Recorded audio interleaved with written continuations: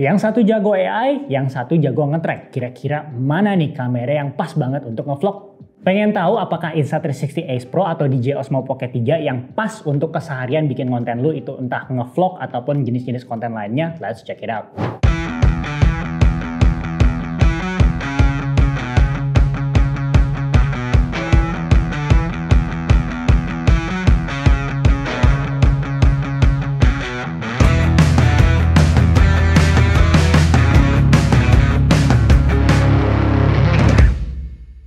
Langsung aja kita ngomongin basic featuresnya di mana DJI Osmo Pocket 3 memiliki layar 2 inch yang bisa diputar dengan kemampuan kamera sampai 4K 120 fps.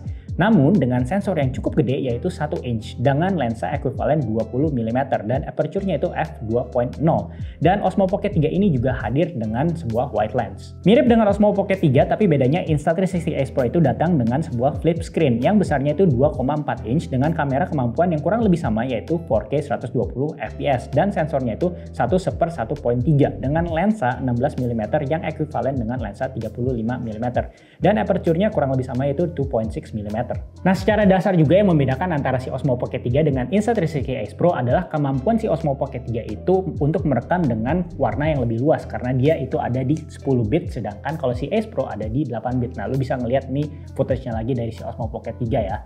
Oke sekarang kita ngomongin terkait image quality and stabilization-nya. Nah untuk keperluan video ini gue akan set semuanya secara otomatis karena ingat title dari video ini adalah apakah kamera ini cocok untuk ngevlog. Karena mostly kan kalau misalnya orang ngevlog pertanda pengennya kan yang praktis-praktis aja ya. Jadi gue set semua otomatis jadi gue kasih lihat lo ini footage di mana mulai dari 4K 30 all the way sampai ke 4K 120 fps baik dari si Ace Pro ataupun si Osmo Pocket 3 lo bisa nilai sendiri perbedaannya apa. Tapi kalau menurut pendapat gue sih untuk hal ini boleh dibilang cukup balance ya hasil dari kedua kamera.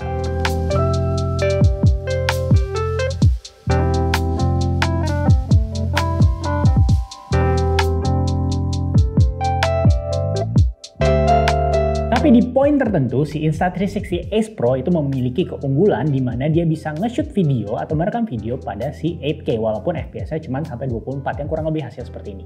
Nah, pada saat perekaman, gue ngerasa menggunakan DJI Osmo Pocket 3 ini karena memiliki gimbal yang emang nempel di kamera itu jauh lebih gampang dibandingkan dengan si Ace Pro. Tapi ada kekurangannya juga nih. Misalnya pada saat lo kayak pengen panning seperti ini, karena dia dia itu kan gimbal fisik ya, jadi otomatis dia tuh akan terasa agak keseret. Bayangin kalau misalnya lu lagi kayak naik kayak uh, di, uh, di Dufan misalnya. Terus lu pengen kayak uh, merekam sesuatu dan pada saat yang sama itu kayak yang lu naikin kayak bergerak secara cukup cepat. Akhirnya akan kayak agak sedikit narik gitu atau enggak nggak usah kayak di amusement park kayak Dufan lah tapi kayak misalnya lu lagi naik kereta yang jalannya lagi agak cepat pastinya gimbalnya agak sedikit ketarik dan kalau misalnya ngomongin terkait low light, si Insta360 Ace Pro itu juga nggak kalah loh dengan si Osmo Pocket 3. Nah, gue kasih lihat klip-klip gue misalnya lagi yang pas di restoran, uh, seperti ini. Dan juga pada saat misalnya gue di beach club, gue langsung kasih lihat pada saat kayak mode low lightnya atau pure videonya nyala dan tidak nyala itu cukup ada pembeda dan gue kasih lihat juga kayak misalnya pas di beach club ini uh, pada saat hari udah agak gelap lu bisa lihat kayak si beach clubnya sendiri itu masih kelihatan. Walaupun memang untuk kayak neon-neonnya itu mulai ada agak sedikit noise. Dan yang gue rasakan ada perbedaan antara si mode low light antara kedua kamera ini yaitu kalau misalnya si uh, Insta360 ini itu punya ada kecenderungan lu boleh lihat di footage beach club gue ini kayak belakang gue uh, lampunya tuh jadi kayak agak sedikit kedip-kedip dan itu ada di footage yang lain juga di mana itu ada kayak kedip-kedip ya di belakangnya. Kalau misalnya kondisinya itu lagi gelap banget dan cuman ada kayak beberapa lampu. Nah untuk kemampuan low light dari si Osmo Pocket 3 ini gue rasa cukup impresif ya di mana gue ada coba pada saat gue pergi ke sebuah konser ini lu bisa ngeliat klipnya sendiri ini cukup jelas dan uh, cukup minim ya noise-nya walaupun memang di bagian yang kayak neon-neon tentunya nggak bisa terlalu tinggi uh, resolusinya ada sedikit kayak noise-noise gitu. Dan gue juga ada coba uh, karena gue sering nge-review jam dan gue coba nge-review jamnya itu pada saat kayak malam hari gelap. Jadi uh, gue sembari lari-lari. Nah ini kurang lebih hasilnya seperti ini. Dan gue juga pada saat kayak gelap walaupun di bawah kayak lampu yang agak temaram, gue bisa nge-shoot si jam uh, Garmin gue kurang lebih hasilnya seperti ini gitu. Menurut pendapat gue untuk kemampuan low lightnya si Osmo Pocket 3 ini cukup oke okay banget ya. Tapi ingat ini low light bukan without light. Oh ya by the way kalau misalnya lu pengen gue untuk ngejelasin lebih lanjut terkait Insta360 Ace Pro-nya doang, sebenarnya gue udah bikin videonya. Jadi langsung cek aja klik kanan atas atau di description box ya.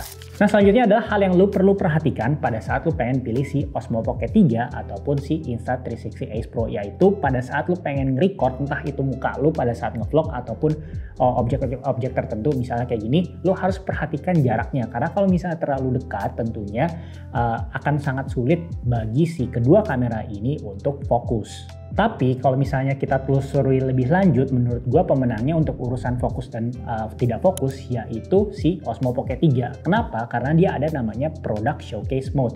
Gue kasih lihat aja, bayangin kalau misalnya lu seorang review di mana lu ngomongin dengan talking head dan lu langsung keluarin box dalam hal ini misalnya sebuah action figure. Nah, lu bisa ngeliat ya, di sini permainan fokusnya itu cakep banget di mana yang tadinya fokusnya ke muka gue dan pada saat ada benda yang lebih dekat dengan kamera tentunya dengan jarak jarak yang ideal ya, itu langsung berubah fokusnya secara smooth langsung ke si box dari action figure tersebut. Dan secara slow-mo kedua kamera ini bisa 4K sampai 120 fps, tapi kalau mau lebih dari 120 fps yaitu 240 fps misalnya keduanya itu mesti resolusinya di 1080. Kurang lebih footage-nya seperti ini nih pada saat 4K 120 fps. Gua nge-shoot kayak uh, Tamiya. Nah, ini side by side lu bisa ngeliat kurang lebih 120 fps dari kedua kamera ini seperti itu.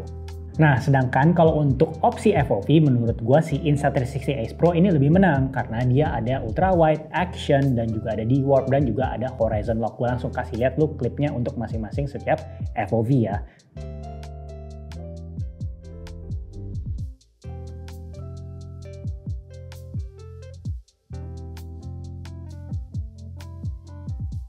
Nah, sedangkan untuk si Osmo Pocket 3 ini ya nggak ada pilihan semacam itu karena memang yang biasanya ada FOV multiple FOV kayak gitu tuh biasanya memang si action camera ya setahu gua. Oke selanjutnya adalah stabilization, sesuatu yang sangat esensial yang amat sangat menentukan apakah video lu bakal cinematic atau enggak. Nah gue kasih lihat lu di mana kalau si Insta360 Ace Pro ini udah ada yang namanya flow state, tapi gue kasih lihat lu pada saat dia lagi mati, off, sampai low, dan juga sampai standar dan juga high. Kurang lebih perbedaannya seperti ini nih pada saat apalagi kalau misalnya lu sering bikin konten yang banyak gerak ataupun lari kayak gua. Dan untuk yang Pocket 3 lu bisa lihat gue udah sering banget bikin sama si Iqbal ini untuk kayak konten-konten uh, entah itu kayak nge-review sepatu atau nge-review jam. Lu bisa ngeliat di sini baik si kameramen atau guanya sama-sama berlari hasilnya benar-benar stabil kan ya. Dan untuk audio keduanya memiliki tiga mic yang built-in. Pertama-tama gue langsung kasih lihat lu untuk kayak suara dari si Insta360 Ace Pro kalau ada di pinggir jalan seperti ini. Oke ini tes suara, uh, ini lagi hujan dan ada banyak mobil. Ini Pocket 3 langsung menggunakan mic 2, sedangkan ini si Insta360 Ace Pro yang nggak ada mic apa-apa lagi. Gimana suaranya nih? Oke, ini uh, sekarang kalau misalnya Pocket 3 tanpa mic DJI Mic 2 dan si Insta360 Ace Pro juga ya emang nggak ada micnya kan. Jadi gimana nih suaranya? Di pinggir jalan dan lagi hujan. Oke, langsung aja kita ngomongin terkait build quality. Nah, durabilitas untuk Insta360 Ace Pro tentunya boleh dibilang lebih dibandingkan dengan si DJI Osmo Pocket 3 yang tentunya memang ya dua ini adalah dua spesies yang berbeda. Tapi satu hal yang lu perhati perlu perlu perhatikan adalah bagian lensanya yang nggak removable. Jadi lu mesti hati-hati ya. Nah kalau untuk build quality Osmo Pocket 3 menurut pendapat gua lu harus lebih hati-hati karena ini gimbal dan gimbalnya ini nggak boleh secara sengaja atau pas mati itu ke dorong-dorong atau ke tekan-tekan karena bakal nggak optimal nantinya kalau sampai terjadi sesuatu dengan gimbalnya. Tapi kalau ngomongin sedikit terkait desainnya yang paling gua suka adalah uh, yang screen yang bisa diputar seperti ini. Yang mengikuti kalau misalnya lagi landscape ya dia akan nge-shoot secara landscape. Dan kalau misalnya lagi digeser seperti ini menjadi vertikal dia akan nge-shoot untuk keperluan vertikal lagi. Ya sebenarnya bisa disetting sih. Selanjutnya adalah smart features. Pertama pertama yang smart menurut pendapat gue adalah cara pengontrolannya. Di mana lu bisa menggunakan sebuah gesture entah itu untuk uh, start video dan stop video atau ambil foto dan ataupun juga menggunakan voice uh, control. Nah seperti ini kurang lebih. Start recording Dan selanjutnya adalah pemanfaatan AI yang menurut pendapat gue maksimal banget di Insta360 Ace Pro. Yaitu pertama pada saat kayak lo misalnya nge-record dan lo lagi lihat di galeri, biasanya dia langsung akan merekomendasikan dari sekian satu menit misalnya atau berapa detik itu klip-klip mana yang bisa lo save karena menurut AI-nya itu layak untuk di save. Jadi storage lo bisa lebih hemat gitu. Itu namanya AI highlights. Nah, sedangkan yang lain yaitu generative AI di mana lu bisa videonya jadi kayak semacam kayak animasi AI itu dengan cukup mudah ya. Walaupun memang ada keterbatasan sehari itu sampai saat video ini dibuat dua atau tiga gitu di mana lu bisa mengenerate generative AI itu. By the way, kalau misalnya lu udah punya Insta360 Ace Pro tapi masih bingung bagaimana memanfaatkan si generative AI itu dan fungsi-fungsi AI lainnya, langsung cek video gua aja dengan klik kanan atas atau dicek linknya di description box. Tapi apakah DJ Osmo Pocket 3 itu nggak pintar? Tentunya enggak dong. Kalau menurut pendapat gue salah satu kepintaran yang sangat praktikal yaitu Active Track 6.0 di mana dia itu bisa mengikuti subjek. Jadi pada saat lo ngevlog dia akan selalu mengikuti ke mana pun lo pergi. Dan nggak cuma sekedar ngikutin doang, dia ada namanya salah satu fitur yang gue suka yaitu Dynamic Framing di mana kalau misalnya uh, dia akan ngikutin lo tapi frame-nya juga sesuai dengan kemauan lo. Misalnya kepala lu pengen agak di bagian sisi kanan atau sisi kiri. Nah, sepanjang dia mengikuti, dia akan menyesuaikan frame sesuai kemauan lu. Sekarang kita ngomongin battery and pricing ya. Secara sistem baterai tentunya kalau misalnya si Insta360 Ace Pro ini bisa di replace karena baterainya terpisah. Sedangkan kalau si Osmo Pocket 3 ini sifatnya built-in walaupun memang lu bisa mengkonekkannya dengan sebuah battery extension. Untuk masa pemakaian Insta360 Ace Pro berdasarkan pengalaman bisa sampai up to 100 menit. Nah, untuk on paper gue langsung tampilin aja untuk kedua kamera ya. Nah, tapi tapi gue menemukan uh, kalau misalnya lu kayak pakai slow mo ini dalam case gue ya selama 15 menit berturut-turut itu bagian bawah itu bakal agak hangat. Sedangkan untuk Osmo Pocket 3 masa pakai itu kurang lebih ya bisa sampai ya 120 menitan lah. Dan kalau misalnya lu mau ngecharge cukup 16 menit untuk capai 80% nah bagaimana untuk pricingnya? Menurut pendapat gue sih kita mulai dulu dengan si Osmo Pocket 3 yang hadir dengan creator combo dan yang paket biasa atau yang standar. Nah gue lebih merekomendasikan yang creator combo. Harganya memang pada saat video ini gue buat adalah 10,5 karena dapat berbagai macam misalnya tripod, extension, battery extension, dan juga tentunya ya yang paling pamungkas yaitu uh, DJI Mic 2. Tapi kalau misalnya lu udah ngerasa punya semuanya, ya nggak apa-apa juga untuk beli yang standar.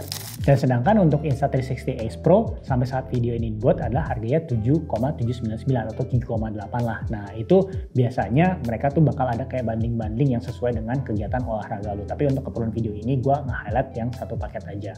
Oke, apa jadi kesimpulannya? Kalau menurut pendapat gue, kalau misalnya lu sering vlog, tapi kayak vlognya tuh nggak ekstrem-ekstrem amat, lebih kayak vlog lagi traveling atau vlog kayak makanan, menurut gue sih si Osmo Pocket 3 ini bisa jadi pilihan banget. Apalagi kalau misalnya lu pengen beda dikit di mana lu memperlihatkan kayak sebuah nightlife. Nah, menurut gue si Osmo Pocket 3 ini selain kayak canggih di low lightnya, tapi juga enaknya di tempat-tempat tertentu lu nggak mencuri perhatian. Karena kalau misalnya biasanya lu pakai kamera yang besar kan kadang akhirnya ditanya security ini untuk keperluan apa dan dengan ini menurut gue lebih aman. Nah sedangkan kalau misalnya tipe vlog lu adalah yang kayak gue misalnya suka kayak lari-lari dan memang ya kalau nggak ekstrim bukan bukan vlog lu ibaratnya seperti itu. Nah menurut pendapat gue pilihnya mendingan si Insta360 Ace Pro selain karena memang waterproof dan juga lebih durable dan rugged.